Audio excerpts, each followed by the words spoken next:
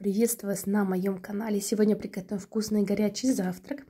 Так бывает, когда вы тушите капусту без всего, чисто с морковью, может быть немного томатной пасты, и она у вас остается.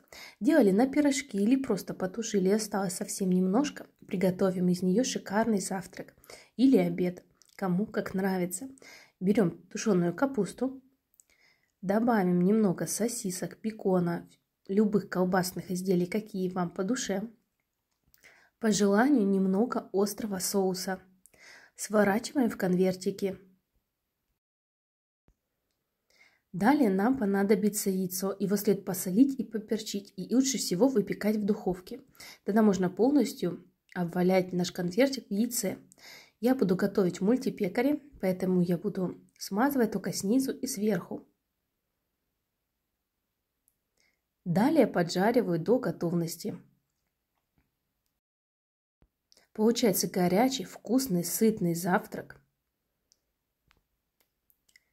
Если тебе понравился рецепт, не забудь поставить лайк. Также ты можешь подписаться, чтобы не пропускать другие интересные рецепты на завтрак, обед и ужин.